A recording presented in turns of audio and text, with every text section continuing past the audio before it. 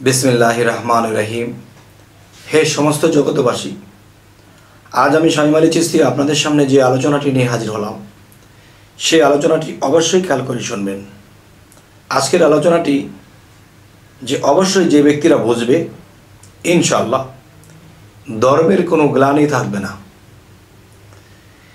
তো আমি বলতে চাই আজকে, হিন্দু, বৌদ্ধ আর খ্রিস্টান মূলত সকলেই মুসলমান। হিন্দু আর বৌদ্ধ খ্রিস্টান সকলেই সকলেই মূলত মুসলমান। আর এই কথার করে দেব প্রমাণ। অবশ্যই আমি বাংলা বলছি, বুঝতে কারও কষ্ট হয় না, আর বুঝলে সকলেই সমান। তো আজকের বিষয়টি বলব কি, যে পৃথিবীর সমস্ত মানুষই মুসলমান।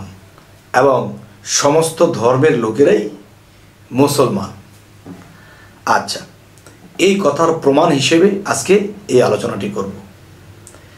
যেমন, আমরা বলতেছি কি? যে লাইলাহ ইল্লাল্লাহু মোহাম্মদুর রাসুল আল্লাহ নাই কোনো মাবুদ আল্লাহ ছাড়া, তার মানে আল্লাহ এক। খ্রিস্টান ধর্মে যাই তারা বলতেছে, আল্লাহ এক। নাসারা ধর্মে যাই, তারা বলতেছে, এক। হিন্দু ধর্মে যাই, তারাও বলতেছে, এক। হিন্দু ধর্ম বা সনাতন ধর্ম একই। তবে এই সনাতন ধর্মেরা যেই কথাটা বলতেছে, সেই কথাটা কিন্তু আমরা বলতেছি। আর এক ভাষায় যেহেতু জল বলা হয়, আরেক আরেক ভাষায় যখন পানি বলা হয় তখন দুইটা ভাষা, জল আর পানি। আর এইটুকু নিয়েই কিন্তু মানুষ ভেদাভেদ করে যে মুসলমান বলতেছে এটা পানি, তারা বলতেছে জল। তাহলে এই কথার অর্থ একই ফল যে পানি পানি, জল।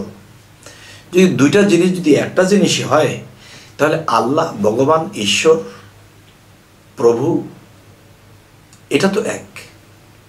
তাহলে আমরাও বলতেছি এক, তারাও বলতেছে এক, অন্য ধর্মে বলতেছে এক, লক্ষ ধর্ম থাকলেও সকল ধর্মেই বলতেছে এক স্রষ্টা, এক সৃষ্টিকর্তা। তাহলে আমি যদি এক বলি, তারা যদি এক বলে, তারা যদি এক বলে, তাহলে তো মিল আছে যে আল্লাহ এক, দ্বিতীয় নাই। আচ্ছা আমরা যেমন বলতেছি ইল্লাল্লাহ মোহাম্মদ রাসুল্লাহ যে এক আল্লাহ, দ্বিতীয় নেই। নাই কোনো মাবুদ আল্লাহ ছাড়া। হজরত মোহাম্মদ সাল্লাহ সাল্লাম আল্লাহর প্রেরিত বান্দা ও রাসুল। আচ্ছা তাহলে সনাতন ধর্ম কি বলতেছে? আমরা যেই কথা বলি ইমান এনেছি, এই কথাটি আবার সাংস্কৃতিক ভাষায় কিংবা হিন্দি ভাষায় তারা আরেকভাবে বলছে, সেটি কি? এক ঈশ্বর দ্বিতীয় নাস্তি, এক মেবাদি দ্বিতীয়াং, ওং বিষ্ণু নারায়ণাং অর্থাৎ এক ঈশ্বর ছাড়া দ্বিতীয় কোনো ঈশ্বর নাই, ঈশ্বরের স্বরূপ ঈশ্বর ভগবান শ্রীকৃষ্ণ। আমাদের মধ্যে কি বলা হচ্ছে? নাই কোনো মাবুদ আল্লাহ ছাড়া লাইলাহ ইল্লাল্লাহ। নাই কোনো মাবুদ আল্লাহ ছাড়া হজরত মোহাম্মদ সাল্লাহ সাল্লাম আল্লাহর প্রেরিত বান্দা ও রাসুল। তাহলে অর্থের মধ্যে যদি যাই, এক মেবাদি দ্বিতীয়াং ওম বিষ্ণু নারায়ণাং, অর্থাৎ এক ঈশ্বর ছাড়া দ্বিতীয় ঈশ্বর নাই। এখানে বলতেছে এক, আল্লাহ ছাড়া দ্বিতীয় কোনো মাবুদ নাই। একই তো বিষয়। কিন্তু আমরা কেন বলি, হিন্দু ধর্ম ভালো না, খ্রিস্টান ভালো না, অন্য ধর্মকে আমরা এগুলা বলি। কিন্তু আমি আজকে যে আলোচনাটি করছি আজকের আলোচনায় আমি প্রমাণ করব। এই পৃথিবীতে যত ধর্ম আছে, সকল ধর্মের মানুষ মূলত মুসলমান, আর এই কথাটি করব প্রমাণ। আচ্ছা যেমন আমাদের মধ্যে মুসলমান শব্দের অর্থ কি? আমাদের মধ্যে মুসলমান শব্দের অর্থ আমরা বলে থাকি আত্মসমর্পণ। আত্মসমর্পণকারী। বা আত্মসমর্পণ করাকেই মুসলমান বলা হয়। তাহলে এই পৃথিবীতে ঘুরে ঘুরে যদি দেখি, তাহলে প্রত্যেকটা ধর্মের মধ্যেই স্রষ্টাকে বা সৃষ্টিকর্তাকে আত্মসমর্পণ করে।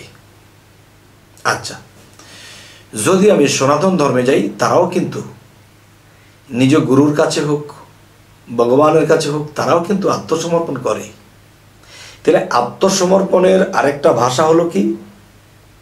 মুসলমান। আচ্ছা এখন খ্রিস্টান ধর্মে যদি যাই, সেখানেও দেখা গেছে যে তাদের ফাদার আছে, যে যিশু ছিলেন, তিনিও গুরু ছিলেন বা ভক্তের কাছে তিনিও মুর্শিদ ছিলেন। কিন্তু সেখানে ফাদার বলেই ডাকে। যেমন একটা ছোট্ট কথা বলব, যে আমার এক ভাই একদিন গির্জাতে গিয়েছিল, খ্রিস্টানের গির্জাতে। গিয়ে একটা ছোট্ট মেয়ে ছোটাছুটি করতেছে, দৌড়াদৌড়ি করতেছে। বলতেছে, কিরে মা, তুমি এখানে দৌড়াদৌড়ি করো। তুমি কোন ধর্মে আছো? বলতেছে যে, আমি আমার পিতামাতা খ্রিস্টান। আমি এখনও খ্রিস্টান হইনি। তো তুমি তোমার মায়ের ঘরে, বাবার ঘরে হয়েছো, তুমি এখনও খ্রিস্টান না? কয় না, বাবা মায়ের ঘরে জন্ম নিলেই খ্রিস্টান হওয়া যায় না। কারণ আমি যেদিন ফাদার ধরবো, সেদিন আমি খ্রিস্টান হব।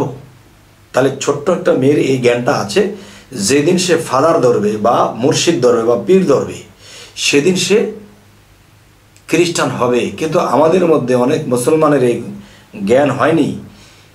এত গ্রন্থ, এত কোরআন, কিতাব পড়েও জ্ঞান হয়নি। যে মসজিদের কাছে কালেমা পাঠ বা মসজিদের কাছে গিয়ে বায়াত গ্রহণ না করা পর্যন্ত আমি পূর্ণ মুসলমান নয়, তাই আমি বলব, আল্লাহ কিন্তু কোরআনে এই কথাটিও বলেছে, তোমরা পুনরায় ইমান আনো। তোমরা পুনরায় ইমান আনো। এই কথাটা কেন বলেছে?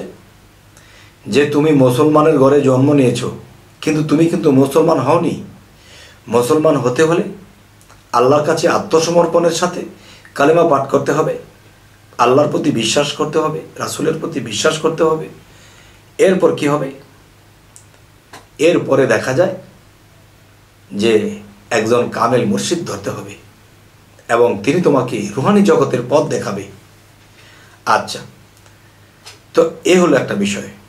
তাহলে কালেমা পাঠ করতে হলে আমাদের বলতে হয়, এক আল্লাহ ছাড়া দ্বিতীয় কোনো আল্লাহ নেই, মাবুদ নেই। এরপর এক ঈশ্বর দ্বিতীয় নাস্তি, এক ঈশ্বর ছাড়া দ্বিতীয় কোনো ঈশ্বর নাই। তারাও বলতেছে একই কথা। এবং তারাও গুরু মুর্শিদ ধরতেছে যে আত্মসমর্পণ করতেছে। তো আমরাও কিন্তু আল্লাহর কাছে আত্মসমর্পণ করি। তা আত্মসমর্পণের আরেকটা ভাষা যদি মুসলমান হয়, আর মুসলমান শব্দের অর্থ যদি আত্মসমর্পণ হয়, আমাকে আপনারা বলবেন যে এই পৃথিবীতে যত সত্য ধর্ম আছে, সকল সত্য ধর্মের মধ্যে কিন্তু আত্মসমর্পণ আছে। যার যার ভগবান, ঈশ্বর, আল্লাহ, খোদার কাছে আত্মসমর্পণ করতেছে। তাহলে আত্মসমর্পণের আরেকটা নাম যদি হয়, মুসলমান।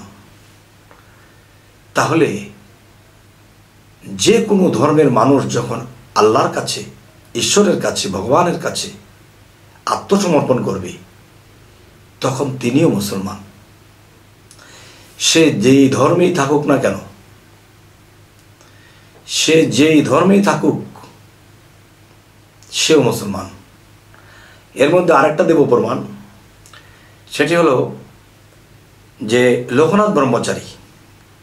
তিনি একটা কথা বলেছিলেন, যার কাছে ষোলো আনা ধর্ম আছে, তিনি মুসলমান।